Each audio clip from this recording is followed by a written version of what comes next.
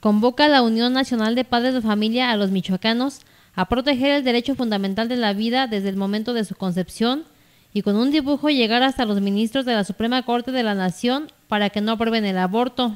La campaña Un voto por la vida, que consiste en que cada niño y niña coloque una impresión de sus manos en una hoja de papel bond tamaño carta, acompañada de una frase en donde se expresen en favor de la vida y de aquellos bebés que están por nacer. En una rueda de prensa apoyados por autoridades de la Universidad Vasco de Quiroga de Morelia, los integrantes de esta unión recalcaron que el derecho a la vida no es negociable y que está demostrado que la aprobación del aborto es equivalente al genocidio. En el Distrito Federal ya van cerca de 70.000 abortos registrados por el gobierno del Distrito Federal sin considerar los que realizan las clínicas privadas.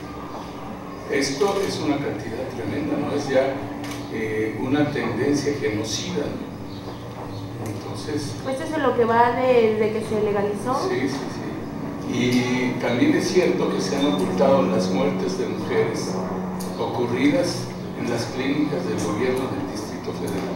Todo lo que se opone a la vida y viola la integridad de la persona es una forma de agresión contra la civilización humana.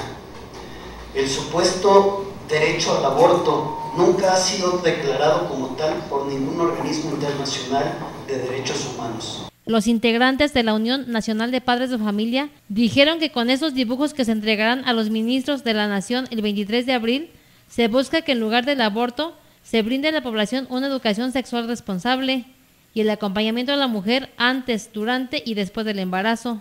Para Cuasar TV, Sandra Sáenz.